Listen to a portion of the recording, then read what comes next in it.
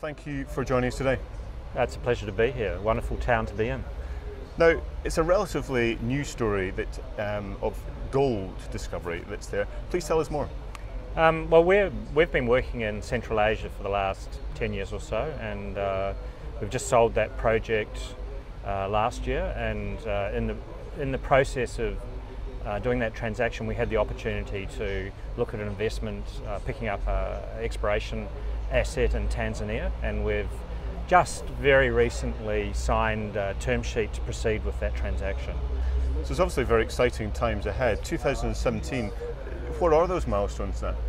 Well, this year um, it's going to be some some consolidation around understanding what we've purchased. Uh, the, it's quite a uh, extensive asset, and it's got a lot of historical exploration work being done on it. So the first exercise is to really get a good handle on what we've what we've taken on, uh, and then we've got some lead and exploration activity planned where uh, a number of drill ready targets uh, are there to be worked on, and we think there's going to be very exciting results flow from that.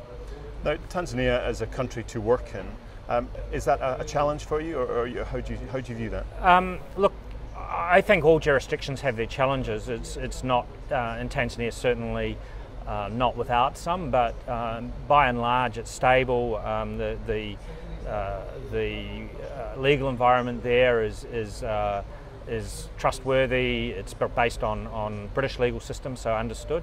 Um, personally, I've been working in Kyrgyzstan for the last uh, seven years, so my, I guess, attitude to these things is probably my tolerance for working in areas with challenges is probably higher than some.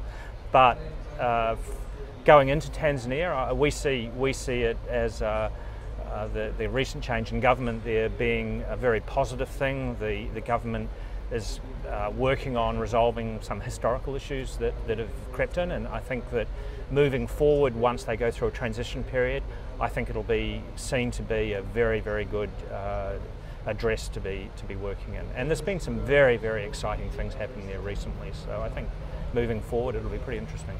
Well, it sounds as if you have very exciting times ahead. Obviously, a big story to tell, and thank you for your time today. All right, pleasure.